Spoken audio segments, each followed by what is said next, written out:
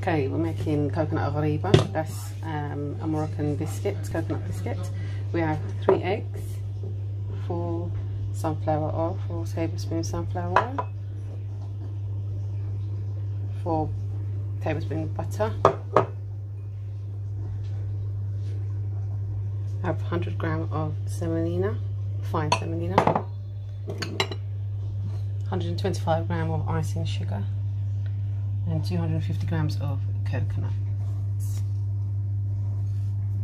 I've got a tablespoon of baking powder and a tablespoon of lemon zest. So we'll go with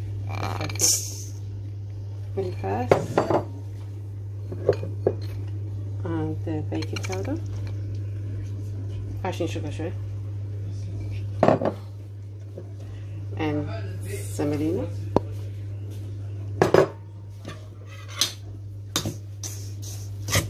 Mix well.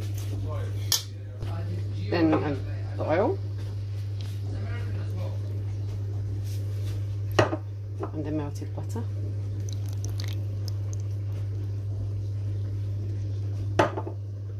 And the three eggs.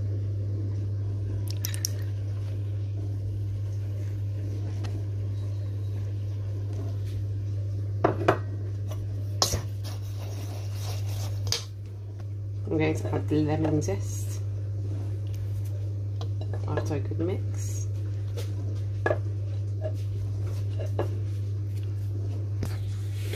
So mix everything, we're going to allow it to rest for an hour and come back to it. So it's been an hour now and now we'll add the baking powder and mix that in. So we roll them at the palm of our hands. We want this shape here so I roll them in the mid centre of the palm of my hand. I put pressure on the outside of my hand and then it's it's raised in the in the centre but flat on the edges. This one is completely round. We do not want this. It was completely round and this one is flat. So we want the crossing between the two. So I've rolled one dip it into blossom water and some icing sugar and place it on the baking sheet. Okay, all done. So I put them in the top oven, top side of the oven. Um, every every oven is different on temperatures, so I just wanted it on medium heat, and that's it.